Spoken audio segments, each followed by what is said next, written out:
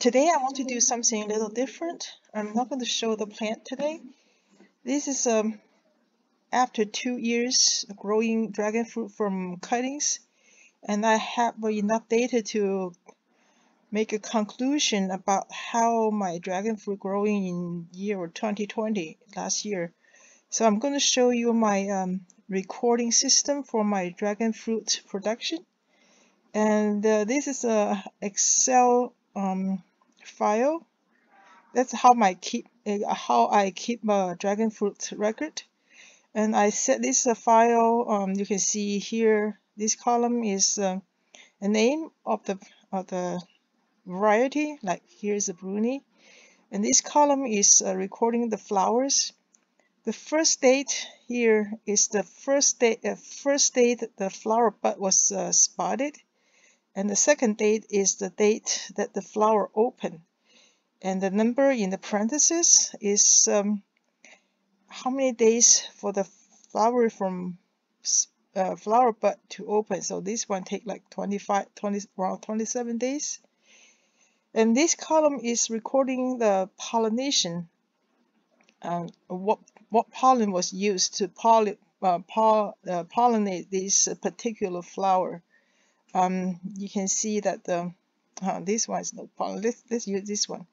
So because the date that the flower open is the date to for pollination, so this date actually is not the date of the flower open, but it's the date that the pollen was used. In this particular case, the pollen is from American Beauty, and this one is stored because the flower opened on June 3rd and the pollen was stored in freezer on date um, May 10th so totally stored in 24 days in the freezer. And I also make little notes like that day had rainy day or is something different from regular way. So this date has little rain on the, the pollination date.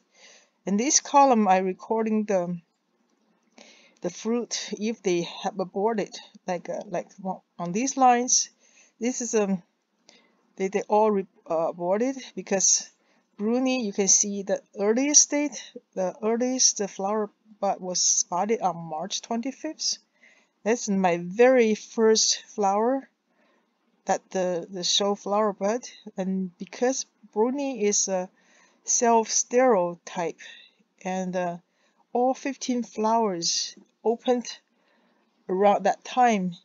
I have no uh, pollen for them. I even tried to self-pollinate it or using pollen from um, Connie Mayer. That's the only flower that opened in that time. But Connie Mayer is so similar to Bruni.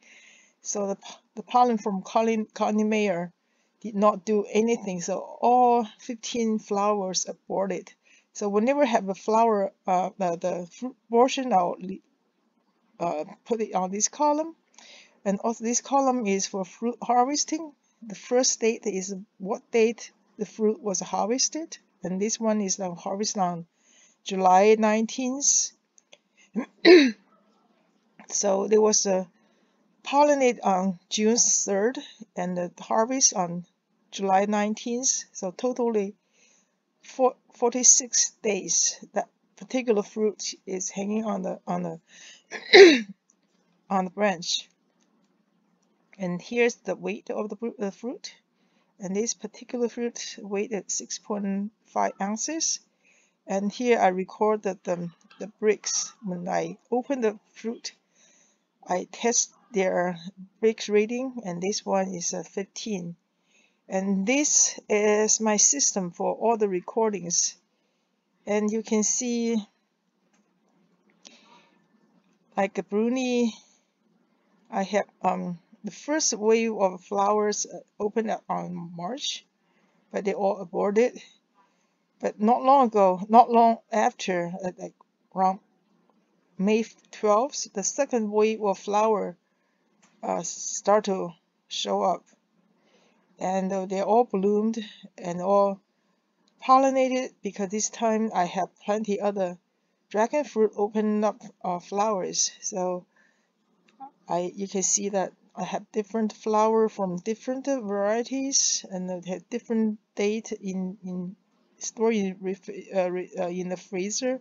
And some of them are pollinated by fresh flower uh, uh, fresh pollen from that same day because have a particular day when this opened and the pink panther also opened so I be able to pollinate this bruni bruni uh, flower with a pink panther pollen.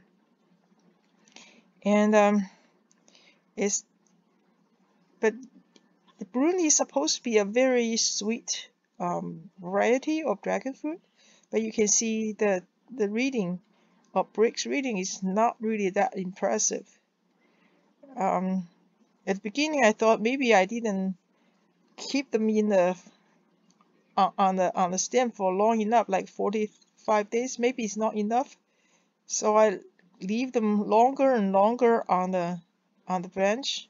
It's like a, from 40 days, 50 days, 6 days, 70 days, even up to 80 days, and they they still not very sweet, and the, the, weight didn't increase. So keep them longer on the branch doesn't really do much based on all my recording. But interesting thing is you can see this all harvest uh, flower open around June. And right from here, August, this time it still have a lot of fruit still from the second wave of flowers still hanging around. And the third wave of flower buds appeared uh, three months after the first uh, second wave of um, flower showing up. And on this on this set of fruit uh, the third wave of fruit you can see the reading the fruit reading jumping from 15 to 18 and pretty consistently all these uh, fruits that from the third wave are much sweeter than the second wave. So they could be because uh, because August uh, this is all harvest on October or November. Um, uh, so it's the weather here is very hot. Maybe hot weather make a fruit sweeter or maybe is the plant here now is more mature so mature plant have a more sweeter um, sweeter fruit uh, I'm not sure what the reason, but uh, I think this phenom phenomena is pretty interesting. The Bruni has three wave of flowers, and uh, the first one it it, but the second one is not not sweet, and the third one is getting pretty sweet. And for the for the year of 2020, Bruni totally have 23 fruit harvest for the whole year. So it's because the size are not very big, it's uh, from 5 ounces to 7 ounces. It's belong to a small fruit uh, variety. So whenever it has small fruit, it's always um, more productive. And you can see, and the next variety is Connie Mayer. And this one is very similar to Bruni and you can see have similar similar thing. The first wave was aborted, and the second wave of flowers not sweet, and the third wave is sweeter, but this time it's not really consistent. They still have some 14, 15. It's not as consistent as uh, Bruni, and uh, I have 22 Connie harvest on year 2020 and uh, in contrast with these small fruit um, variety, varieties, American Beauty is my third one um, start have a flower. The first flower, American uh, Beauty, appear on April 10th. And uh, and the fruit size is like uh, over a pound, some over a pound, even the smallest is still 14 ounces. It's, really, it's kind of um, big fruit and you can see the brick reading. Even the very first one have a brick reading 19 and pretty consistent. It's I think American Beauty is very good um, variety, and um, the, the drawback is is not as productive. Like whole year, I only have seven American Beauty harvested, so compared to 22, that's much lower productivity. uh, this is my American Beauty second from bought from second uh, different uh, vendor, and that one is only because it was bought later.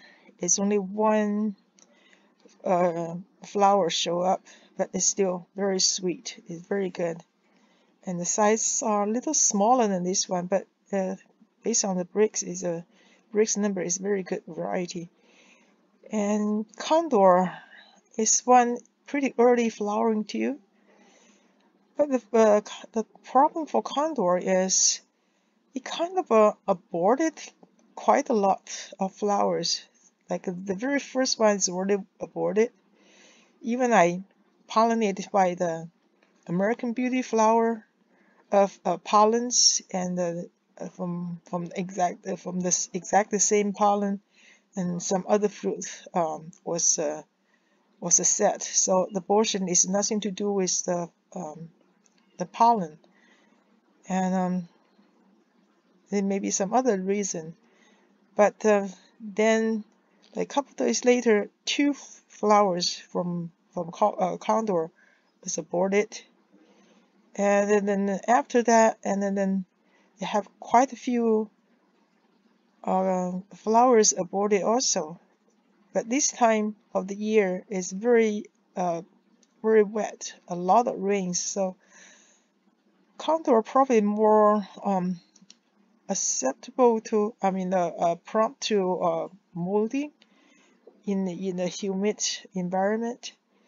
So total around 13, 12, 13 flowers opened, I only have six of them harvested. The Brix reading is um, not very consistent, but uh, some are, the big ones are pretty sweet. It's pretty good. But uh, almost half of the flowers are aborted on Condor. I'm not sure for that year or so I'm, I'm going to keep eye on Condor on this year on 2021 to see if still have more abort aborted flowers than the other varieties. So I'm going to keep eye on condor. And delight is very interesting one. Uh, they have medium size of fruit. And you can see they have fruit like crazy. I have total 26 fruit harvested from delight.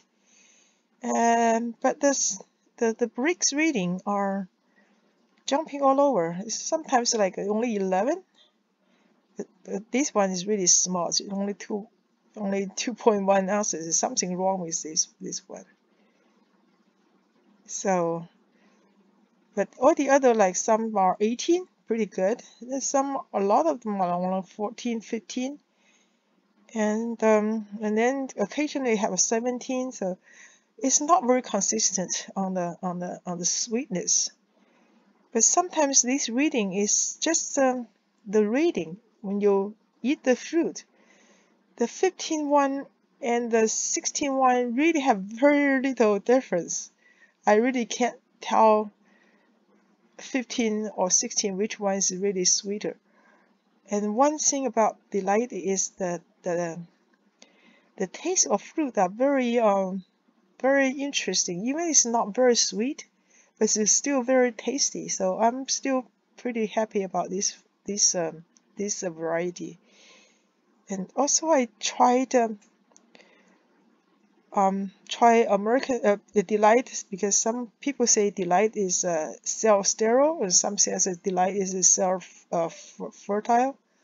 So I tried uh, uh, two of them, two flowers, and this one is self pollinated, and also this one is self pollinated, and uh, and and both set fruit. Oh no, this one this one's aborted. Uh, I don't know, but this one is uh, the set fruit, and um, the fruit is not very big. It's only four ounces, and the read uh, Brix reading is not very high either. So, so after that, I think that there's no because I have so many other flower open at the same time. There's no reason to do more self uh, uh, pollination experiments. So I kind of give up and I don't care the self sterile self uh, fertilize uh, fertile or not. But but here later on, and this one, this particular ones, because that day I don't have any other flower open. So I said, okay, I'll just do one more self uh, uh, uh, um, pollination test, and this one and also set fruit. And fruit size is decent, six ounces, and it's pretty sweet also, 7.5. So I think particular this the delight I have is uh, pretty sure is a self uh, a fertile delight uh, based on all my uh, information here. And uh, another one is uh, Edgar's baby. It's a medium size of a fruit, a medium size of productivity. This fruit is not very sweet but it's very pleasant. It, it's very nice, fragrant on the flesh. When you open it, you can smell it, and then when you when you eat it, you you your palate kind of feel feel that the floral fragrance from this uh this fruit is very very delight very like I like it very much. See the last one I harvest um on November it's the largest one. It's one pound nine ounces, and also the Brix reading are increased quite a lot compared to the previous fruit. So this Edgar's baby still have some hope. Maybe next year, I mean this year, 2021 will be the fruit will be sweeter for Edgar's baby. And here's a sugar dragon. Um, this one I bought it late so it's it's only like a half year production. So the they only have 14 fruit harvested. And the Brix reading is kind of a jumping all over the place 16, 14, 17, 18. Um, I can't really find any uh, consistency on why some days uh, lower Brix reading, some days are higher. It seems random and um, the fruit size may have something to do because seems the bigger size all has a little higher reading and uh, but, but not always. And also this neon I think neon and the sugar dragon are very very similar varieties. Their flower look almost exactly the same. The fruit almost like the same. But you can uh, you can see that the I I just realized that it seems all my neons are sweeter than the sugar dragon for some reason. You're going to get a lot of 18s and uh, even uh, later on even 19s and 19, 19.5. It seems sweeter than sugar dragon. So it's pretty interesting. I didn't notice if I don't have this record but once you have record, it's very easy to look back. So you can kind of have a general idea how this uh, dragon fruit was doing and during the whole week, a uh, whole year. And uh, this is G2. G2 is um, it's only have uh, it's a kind of medium and large uh, fruit. I only have eight fruit harvest for the year the reading is uh, a little higher, like uh, beside the very first fruit. And they get 19, 18, 17. It's pretty sweet, pretty good uh, variety. And this one is uh, self-sterile for sure. So it's a good variety to have. It's uh, pretty sweet. But even the sweet, I, I, I label here is uh, even the even the Brix reading is pretty high, but when you eat the fruit, they have little sourness to it. Some people like it because they say there was a balance between sweet and sour. But uh, I like the very sweet one. I like the American Beauty better than G2. And this is my unknown um, variety. And I got it one year earlier than all the others. So this is the, their, their third year. And you can see the brick reading um, pretty high and very tasty. Um, I, but I have no idea what the variety it is. They are different from all the other variety, the no variety I have.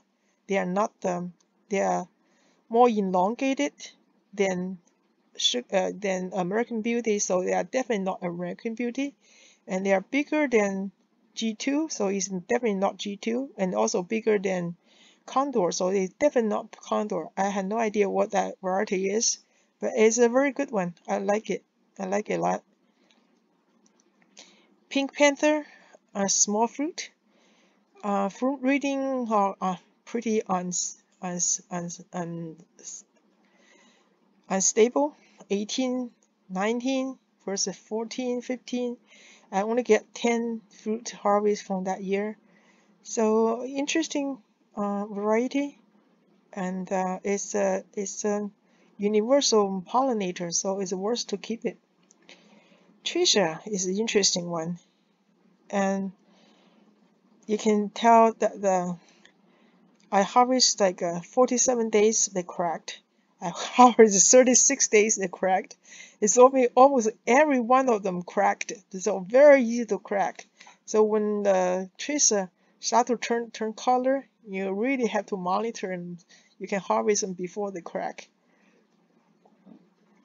And the Brix reading, the very first one's very sweet. I thought, wow, very nice. But the all the other one after that is not sweet anymore. Not very sweet. I don't know why. And the first one is not not very big. And the later one is bigger than that, but they are not sweet. Um, well, I'll see probably it's too much rain to dilute them. I'm not sure. So I'll keep eye on Trisha this year. Physical graffiti. This one I got late. And um, you can see only get nine fruit. And uh, the Brix reading is not very consistent either. You can go 18.5 or can sometimes a 14 fruit size is pretty big in the like a medium to large size size. And um, because it's a little sour kind of uh, variety I like American Beauty more than Physical Graffiti. And uh, after that yeah since Spanish I, I, I really don't like this one this one is a uh, they are all very low reading. Not just low reading when you eat the food, they are not very tasty. And also they only have four fruit harvest that day, uh, that year. So I really have um, very little interest on this one. I'm not sure. And uh, they says that there was a, this supposed to be self uh, fertile variety. I tried it one, and it was aborted. So um, I'm not sure because I didn't really try enough, so I'm not sure it's really self uh, fertile or not. Oh yeah, Kathy Van Laroon, that's my favorite. And look, look at the reading. Even the very first one, pretty small, only 4.4 ounces. I get 19, and later on get 22.5, 21, 22. Very, very sweet, very, very good. I love it so much. And uh, so I'm going to propagate more of this and uh, this is one uh, I really like. The fruit size is kind of in the smaller size, on the smaller size, but it can get pretty big too. 8.3 is not really that big, that small. I'll see this year the Connie, um, Kathy Van Loon can getting bigger or not. This is a very good uh, variety to have. It's not really low productivity either because it started late. The first flower only show on July, but I already got 10 uh, fruit harvested. So it's a very good variety. And this one, I don't know how you pronounce it, called Guyudi or Guyadi. It's a white, uh, white um, flesh variety and very big. It, I think it's the biggest one. I have a one pound eight ounces, also one and a half pounds, but the reading is kind of low, and um, the productivity is pretty low. So I don't know. I'll keep it for a couple years to see how how it can be a little sweeter later on. And uh, the fruit size is worse, uh, it, worthwhile to, to keep. And uh, this yellow uh, Columbiana, interesting. I have six flower opened, and none of them are harvested because um, by by research reading about the yellow columbiana, people say the flower take at least half a year to uh, to mature, and uh, so th this flower, uh, these fruit are still hanging on the tree, and they just start to turn yellow. Uh, I'm one of them actually turned yellow earlier. I turned yellow around December I'm going to do a video very soon to uh, show you the, my yellow columbiana, how it looks like and how it tastes like. So that's in a couple days, so stay tuned. Uh, this is unknown know too. I have another unknown, and it's a white uh, white flesh, and the reading is not good. So I don't. I actually two. I, I have two fruits, and this one, the possum ate it and uh, but it's I don't really like the white flesh much. They they're most of them are, are less sweet, and um, it's not very impressive. So and all these varieties like Vietnamese white or Sunderford, as the Camellia, Palora from seeds or from graphite, and I still have more that uh, varieties that have not flowered yet. So I'm hoping all these will start to flower this year. Uh, one thing I want to talk about it uh, quickly is also is about the pollen storage. You can see that the, almost every day some uh, flower open every night and uh, when the time you don't have a, a different variety open in the same time same night you have to use the pollen from the storage but most of the most of the pollen storage methods I check online, they store all the pollen in one uh, little uh, small glass jar or whatever. They store all pollen in the same same place. So every time that, that means every day you have to take the pollen out of the freezer because you have to use them almost every day. I don't think that's a very good uh, method. It, it, it's it's not good for the pollen to keep be freeze and thaw so many times they will the pollen will lose the viability. So I come up with an idea to store a pollen in, in fractions and each one each, each fraction of a pollen will be stored in the individual package. So you put the individual package in the freezer. So each time you have flower open at night, you just take one package out. And um, in that way you don't have to freeze and thaw the whole pollen so the pollen will keep uh, alive for a longer time and you can see here these methods uh, the pollen I stored I freezed on May 12th and be used on August and it's still viable so uh, the the methods it works for sure but um, so I want to want you to take a look at here. This is a, a pink panther pollen freeze on June 10th. So the, so the June 10th pink panther pollen was used once when they on June 14th when they stored in, stored in the refrig, uh, in the freezer for four days and it worked. And also the uh, June 10th pollen is uh, used on June 16th the second time. And they worked. But on this day, on June 18th, the third time I used the, the, the pollen from the same day harvest, and the fruit was aborted.